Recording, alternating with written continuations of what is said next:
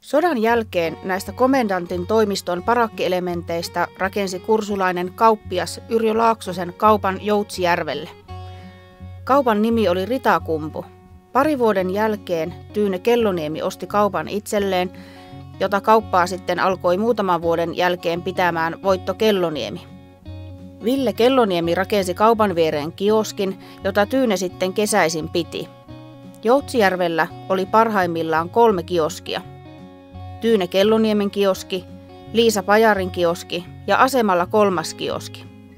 Aseman kioski loppui heti ensimmäisen kesän jälkeen, kun eräs nuori kulkumies varasti kaikki sen tuotteet. Seis!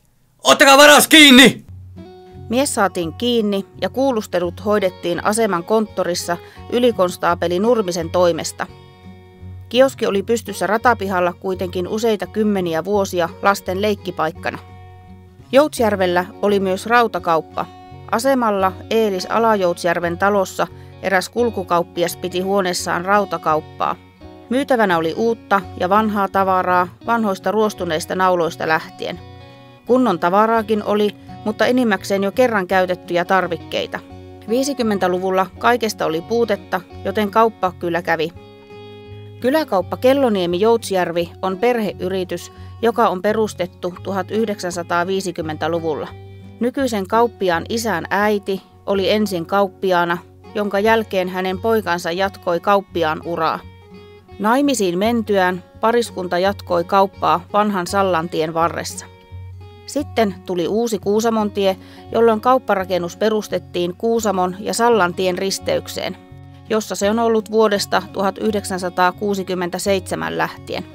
Isän ja äidin jälkeen yrittäjinä toimivat lapset, veli sekä sisko ja tällä hetkellä kauppiaana on Rauni.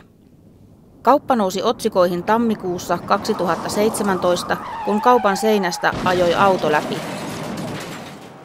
Tammikuun 10. päivä vanha Mersu ajoi suoraan meidän kaupan seinästä sisään.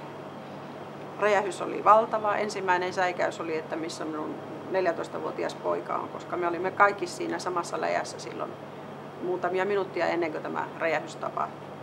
Auto oli tullut suoraan sisälle ihan lähelle tätä kassaa. Seinässä oli rattorin tultava reikä. Kaos oli kauhia. Mutta elämä jatkuu ja kauppa on entistä ehompi. Meiltä löytyy niin päivittäistavarat kuin lounaskahvilakin, josta löytyy maankuulut kahden euron munkkikahvit.